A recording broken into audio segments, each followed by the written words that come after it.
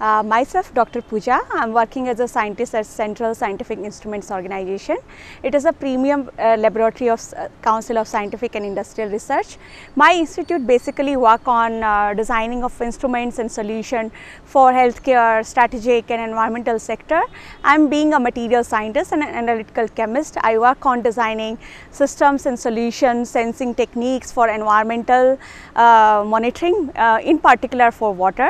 So, we design uh, knowledge protocols, materials and sensing techniques for water pollutants detection as well as remediation.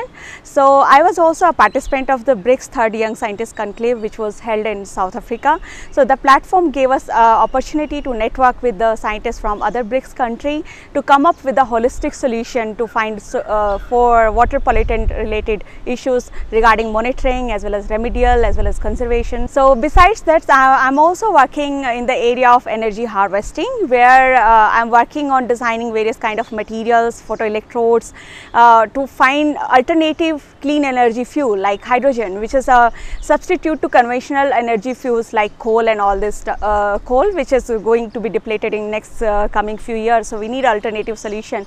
So, we, we have designed a kind of uh, rugged photoelectrodes which can be used to generate hydrogen from the water which, which, are, which is a next generation fuel for the transport.